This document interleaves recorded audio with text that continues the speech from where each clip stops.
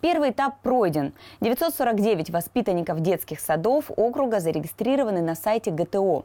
Команды с наибольшим количеством участников наградил Владимир Ужицкий. Отметим, 41 учреждение приняло участие в первом этапе комплекса «Готов к труду и обороне». Среди них лидирующее место у детского сада номер 14 «Журавушка».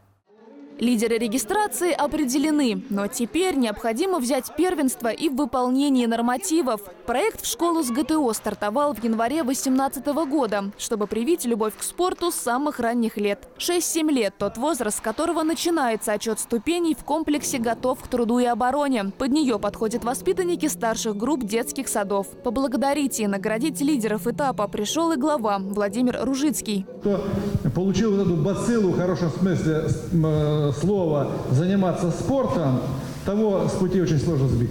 Поэтому вам спасибо, ребята, а вам здоровья, удачи, будьте чемпионами. А начало спортивного пути положено. Юные воспитанники детского сада «Журавушка» показали гимнастические элементы, устроили флешмоб, а самое главное – проявили интерес к спорту. В общем, доказали, что ГТО готовы. Мария Антонова, Никита Скраган, телеканал ЛРТ. Привет! Я Наталья Григорьева. Вы смотрите ЛРТ. Подписывайтесь на наш канал на Ютубе, ставьте лайки и всегда будьте в курсе интересных событий.